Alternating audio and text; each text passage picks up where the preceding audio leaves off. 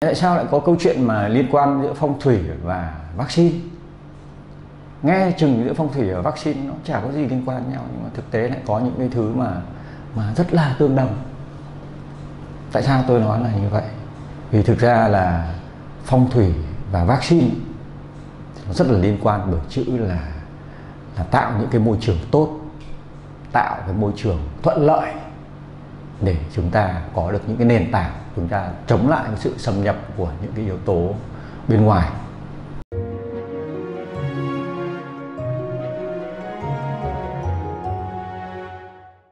Xin chào à, quý à, cô chú và anh chị Không biết là trong đại dịch này mọi người à, ai đã được tiêm vaccine chưa? Mọi người đã tiêm vaccine chưa?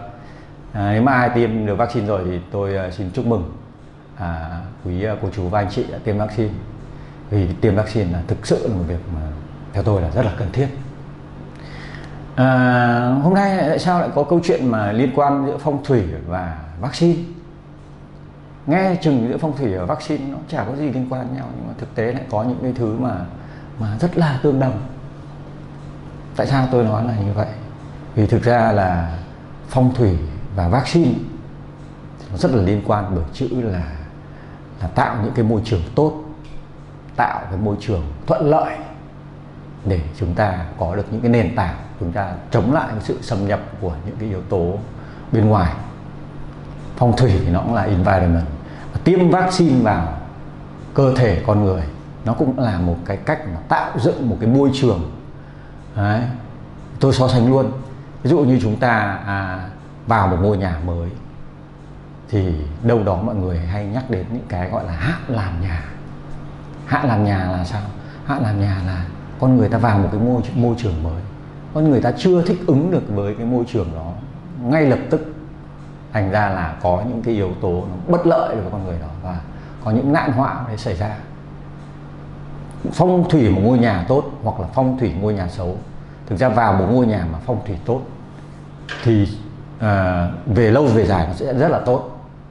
Còn à, vào một ngôi nhà mà phong thủy xấu thì về lâu về dài nó rất là xấu à, tuy nhiên nó sẽ có khác nhau một chút lúc mà mới mới vào căn nhà. À, thì cái phong thủy tốt ấy, vào nhà thì đôi khi là nó cũng có những nạn nọ nạn kia xảy ra nhưng mà nó rất là nhẹ. Ví dụ như ho hắng hay là những cái thất thoát một vài cái sự rất là nhỏ thôi. Nhưng mà vào một cái nhà phong thủy tốt thì đôi khi là nạn họa là là nó cứ liên tục liên tục nó xảy ra. À, thậm chí là thất nghiệp mất tiền nặng hoặc là thậm chí là gây những cái sát thương nặng ví dụ phong thủy tốt thì nó chỉ gây ho hoặc là gây đau răng thôi hoặc là gây tiêu chảy thôi. Nhưng mà cái kia thì đôi khi ra đường gặp tai nạn. À, gãy chân gãy tay chẳng hạn như vậy. Đấy thì à, cái phong thủy ấy, thì cũng là cái việc mà mà con người thích nghi vào một cái môi trường mới. Được một cái phong thủy tốt thì tạo một cái nền tảng để cho cuộc sống nó tốt hơn. Thì cái, cái việc tiêm vaccine là cái gì? Việc tiêm vaccine là cái việc mà chúng ta à, đưa những cái tế bào đưa những cái xác tế bào để giả lập lên cho cơ thể chúng ta ừ, có một cái sự tương tác đối đối với những cái cấu trúc tế bào đó và tạo ra một những cái kháng thể. Tức là tạo ra những cái môi trường thôi environment tốt để chống lại những cái cái tác nhân ở bên ngoài. Và khi mà tạo dựng cái môi trường tốt những cái cái giả lập để à, cơ thể nhận biết và xây dựng lên đội ngũ quân đội đội ngũ ờ, kháng thể để chống lại chống lại các con virus. Trong tương lai nếu nó xâm nhập, thì cái việc tạo môi trường đó ban đầu chúng ta, cơ thể chúng ta cũng phản ứng. Và như vậy thì thì rõ ràng là ban đầu là là sẽ có người nọ ốm, người kia ốm, thì cái chuyện đấy là chuyện rất là bình thường. Đương nhiên là là là là có người sốt hoặc là có người bị giả cúm chẳng hạn thì đấy là một trong những uh, cái cách mà cơ thể ta phản ứng lại khi mà mà chúng ta gặp cái môi trường nó nó khác so với bình thường. Thế cái chuyện đấy là là tốt thôi.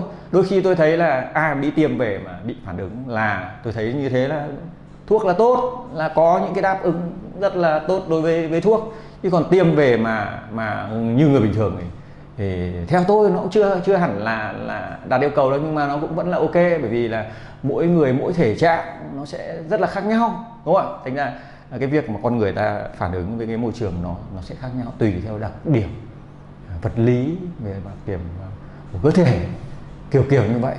Thành ra là về phong thủy với vaccine thì nó cũng rất là có nhiều yếu tố tố tương đồng và mọi người mà tiêm vaccine là tôi thấy là tuyệt vời quá rồi. Và chúng ta đã xây dựng một trong những cái môi trường tốt một cái phong thủy tốt cho cho cho cái con người của chúng ta để chúng ta có được những cái điều kiện thuận lợi chúng ta có những cái sự tập dượt trước để khi mà uh, trong chúng ta như là tập một trận giả trước. Thì đôi khi là chúng ta đổ mồ hôi trên xa trường thôi. Nhưng mà khi mà chúng ta chiến đấu thật thì với con virus thì chúng ta không bị uh, mất máu uh, mất thể xác mất thời gian. Đôi khi là cả mất mạng nữa. Nếu như chúng ta không có những cái tập dượt trước thì tập dượt trước chính là việc mà chúng ta tiêm vaccine vào, người. Mà tôi thấy là, là trong cái đại dịch này cái việc mà tiêm vaccine là vô cùng cần thiết. Thành ra là quý vị anh chị nếu mà có điều kiện thì tiêm ngay đi và như chính phủ nói là cái vaccine mà à, có kịp thời là cái vaccine tốt nhất chứ đừng nên mà chọn lựa những cái vaccine mà mà mà quá tốt. Và trong khi là dịch nó đến tận cửa rồi mà chúng ta không có sẵn những cái vũ khí chúng ta không tập dượt thì khi mà nó đến thì chúng ta gặp thất bại hoặc là chúng ta gặp những cái xui xẻo. Lúc đây lại đổ tại số thì là như vậy là không đúng đúng không ạ? Thì đây là một vài chia sẻ của tôi về những cái quan điểm về phong thủy về hạn làm nhà về vaccine. Mặc dù nghe nó vẻ không tương đồng với nhau nhưng mà thực ra là nó cùng một nguyên lý của một cái vũ trụ này. À, xin ờ, chia sẻ xin kết thúc tại đây. Xin là cảm ơn quý cô chú anh chị nếu mà ai mà thấy hay thì nhớ à, nhớ like này, nhớ share, nhớ ấn vào quả chuông nhá, để để nhận ngay những cái chia sẻ tuyệt vời nhất của tôi, kịp thời nhất của tôi. Vâng xin à, cảm ơn và xin à, chào quý anh chị, cô chú.